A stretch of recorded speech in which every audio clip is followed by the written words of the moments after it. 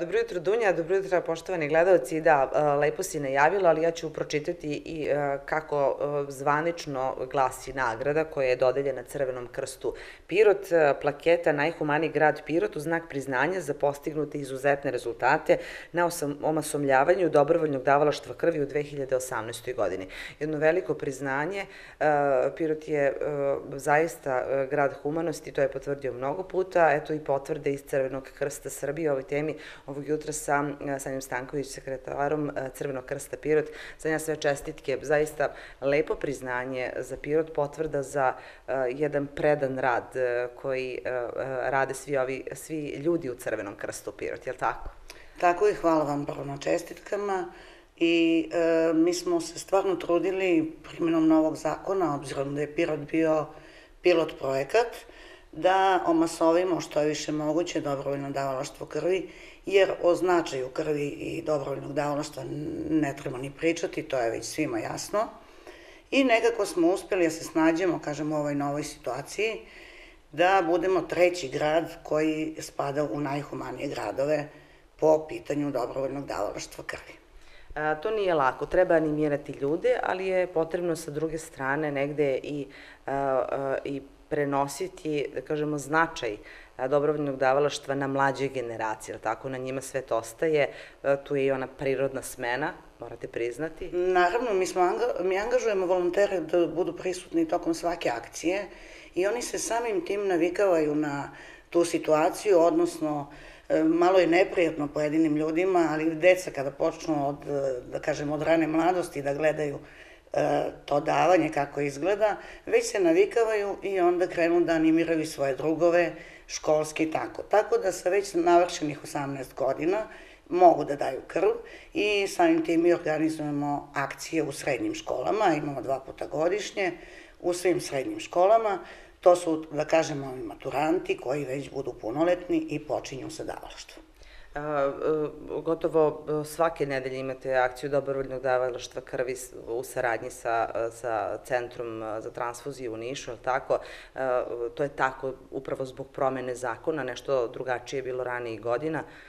I danas je jedna akcija. Da, ranijih godina smo imali da je krv uzimana od strane Niša i od strane za, transfuzije Pirot.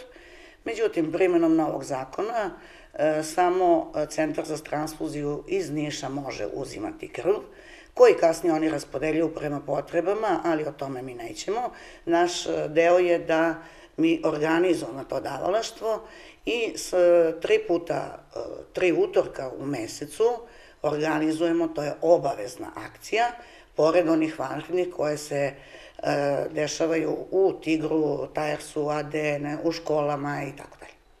Da kažemo šta je još aktualno kod vas u ovom trenutku, letnji meseci, to je leto počelo bez, obzira na, na kalendar, vi imate neke akcije koje i sada uh, organizujete, realizujete, šta je ono što možemo izdvojiti kao, kao važno? Pa trenutno je akcija podele paketa uh, za korisnike usluge pomoć u kući. Pomoć u kući je aktualna, ona neće prekidati tokom godine, do kraja ove godine, bar se nadam, obzirom da očekujemo završetak tendera. E, podele paketa u toku i polagana priprema za letnje mesece, odnosno za veće angažovanje na polju dobrovoljnog davanja krvi, jer e, znamo da u letnjim e, periodu izuzetno je potreba, a veliki manjak krvi, tako da ovom prilikom bi zamolila ponovo svoje sugrađane da se jave i odazovu pozivima za davanje krvi.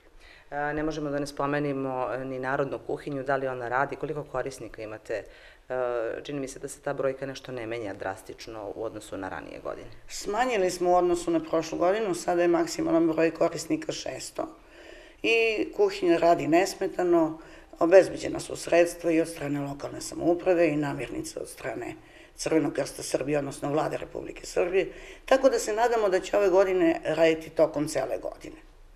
Hvala vam na ovom razgovoru, naravno mnogo uspeha u radu i još mnogo ovakvih priznanja. To je potvrda da dobro i predano radite, ali tako? Vi velika satisfakcija mora se priznati. Pa jeste, jer Pirot nije bio uh, do sada u gradu, izdvojen iz gra, u gradovima gde se najviše daje krv.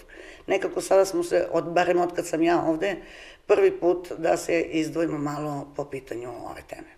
Hvala još jednom. Hvala i vama. Da, čuli ste poštovani gledalci, još jednom e, da napomenemo na kraju ovog razgovora, Pirot je proglašen za najhumaniji grad uz, u znak priznanja za postignute izuzetne rezultate u oblasti dobrovoljnog davalaštva. Studio